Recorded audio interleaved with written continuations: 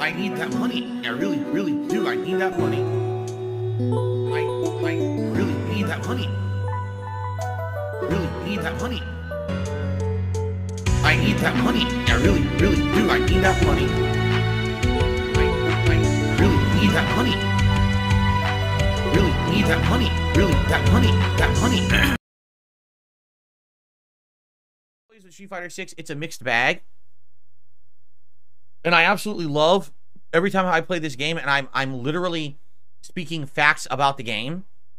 That the fanboy force comes out to defend it because they're so fucking ignorant that they just believe everything they're told by the FGC instead of using their fucking brains. So I'm playing the game, and once again, inputs dropping immediately. First match out of the gates claims to be a 19 millisecond match, and I'm like, no input. Did you see me? Press the button. You could see you hear the click. Drops the input entirely. No input comes out. What the fuck? You know, there was one guy I was playing. Um, literally it says fight, and it's Ken, and he he drive imp- rushes across the screen, does low medium K. I it wouldn't even block.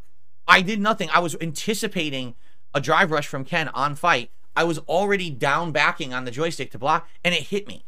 And I'm like, this fucking game, I'm sorry, it's not good online. The netcode sacrifices the accuracy of the gameplay to make it look good. Meaning the matches look good to the audience because you don't see lag or skipping or rollback, but it drops your inputs frequently. So someone who's just a fucking rushdown masher always will be benefited, while someone who plays more defensively or more, you know, intelligently actually always will get a worse experience online. It's absolutely trash. Um, and it pisses me off because the game is very sound competitively.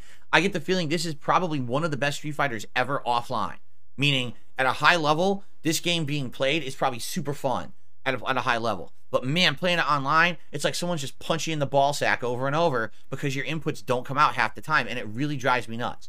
And it's just hilarious because I call it for what it is. I'm honest about it. I tell you guys when it's happening live. I'll say I did the move, it didn't come out. And everyone, well, the FGC doesn't say this. No one in the FGC says this. Why the fuck would they say it? They need this game to be super praised. They need this game to everyone think it's the best fighting game ever. Why? Because it's the only fighting game Capcom has out. And it's the only fighting game they have if they're Street Fighter players. Why do you think they're going to criticize it? They did the same thing with Street Fighter V. When Street Fighter V came out, they praised it. They talked so highly about it and they said it was good. Now that Street Fighter 6 is out, they all say Street Fighter 5 was dog shit. Right? Now, seven years later, they've all changed their tune. Do you think the game changed magically? It's the same fucking game. It's that they're not honest about it because they need hype. They need people to come to their streams, to come to their tournaments, to watch their shit, to enter their events, to buy the game, to buy the accessories, to buy the peripherals, to use the referral codes so they can make money. They can't say the game isn't good online because then they can't get the bag. How you don't understand this yet really drives me nuts. Why do you think that the one guy who doesn't benefit is honest? Right? I don't benefit in any way from saying things about fighting games. If I say a fighting game is perfect or I say a fighting game sucks, it doesn't affect me. Right? So why do you think the one guy who has no direct benefit would say something different from the FGC? Right? Here's the truth if you actually go on social media, you're going to find tons of people saying things like, why does Street Fighter 6 eat inputs? Because it does. The netcode eats inputs constantly to make the game look good online. Okay?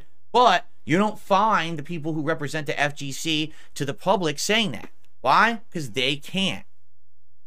They can't be honest. They're not allowed to. If they are, that's it. Okay? So that's why you get the honesty from me. Listen, I love Street Fighter 6. Like I said, I think competitively it's a really good game. It's sound. Sure, it's unbalanced. Sure, the top tiers are overpowered. They'll probably rebalance this game a few times during its life cycle. Maybe like once a year they'll do a new season update and they're going to balance it again and again and try to fix things. I expect I expect that and I appreciate Capcom doing that. But man, the netcode is duty when it comes to this dropped input stuff. It just makes it not fun. So last night I returned to Street Fighter 6 for the first time in two and a half months. First match out of the gates, input drops constantly. And I'm like, I didn't have this problem with Tekken because this is the other thing. People are like, oh, it's your joystick or whatever. I played Tekken for a month. Did you hear me constantly complaining about dropped inputs? No, because Tekken didn't drop inputs. Now, Tekken's connections were slightly laggier, meaning on average, a Tekken connection is right 30, 40 milliseconds at the best, all the way up to like maybe 80 milliseconds at the worst. So it's a little bit laggier, but it doesn't drop your inputs.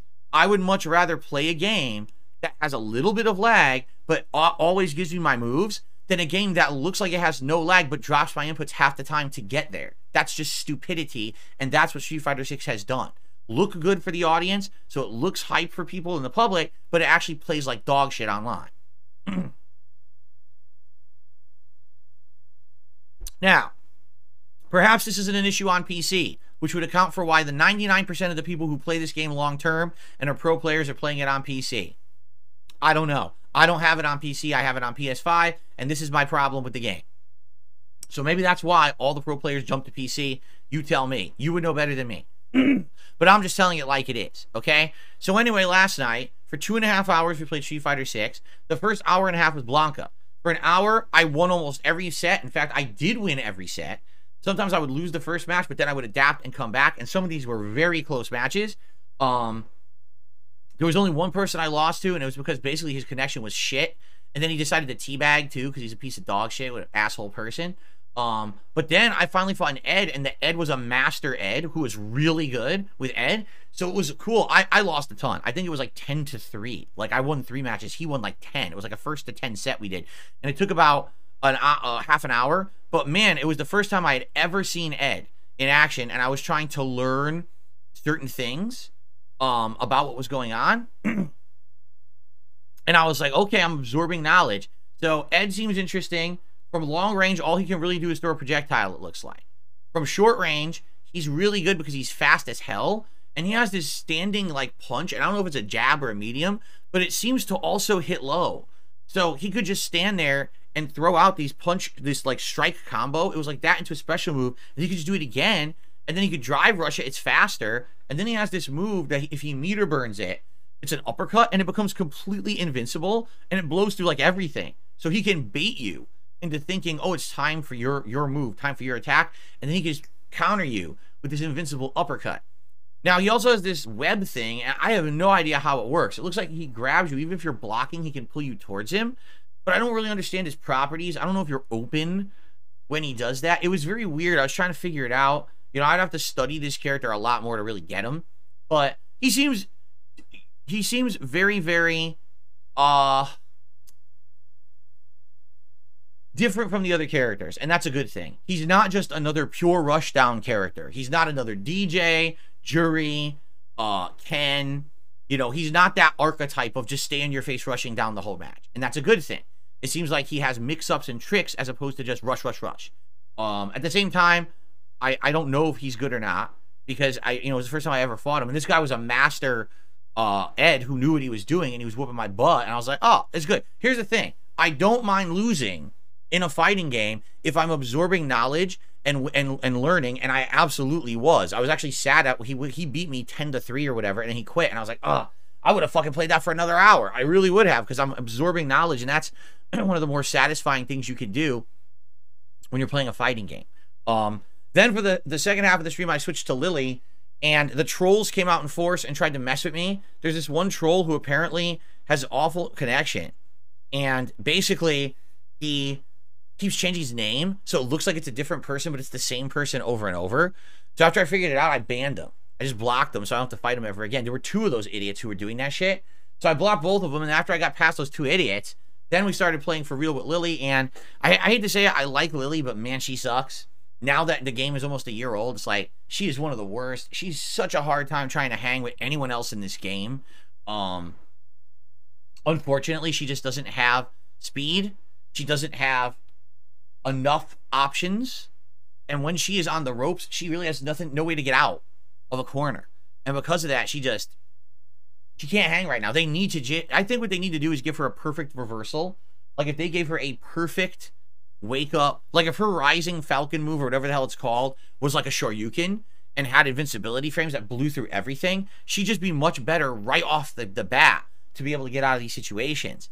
Um, and I do feel like maybe if they improved some things, like uh, I don't know, maybe give maybe her throw improve it a little bit. Because the problem is most people could just easily neutral jump uh, over and over in the match against her, and she has no options to stop it. Like she can't stop the neutral jump. So you could have people do hit string, neutral jump away from any option she has. Oh, safe hit string again, neutral jump away. She can't do anything. She's just stuck. And it's frustrating because I like that character build, but I don't think in the meta of the game she really fits anywhere. So it is what it is. I, I lost a ton, but I won some matches too, so it was fun overall. Overall, I would say I really enjoyed it. I enjoyed going back to Street Fighter 6. If we if you guys choose for me to play more today, I'll probably use Zangief and Dhalsim and Honda. You know, I won't use the characters I used last night. Um and uh definitely I would I would like to play more if you want, but only if you want. We don't have to today. I mean, that is a lot of Street Fighter Overload after just doing it last night. But the thing is, I don't know if I'll have a chance to play it again this week. Maybe one night, we'll see. Um, but yeah, I had a good time. And overall, attendance was great. Support was good. You know, everything is staying great. Since I went to this variety schedule and dropped the RPGs, everything's going good. People really seem to be enjoying it. So that's a good thing, right? So now let's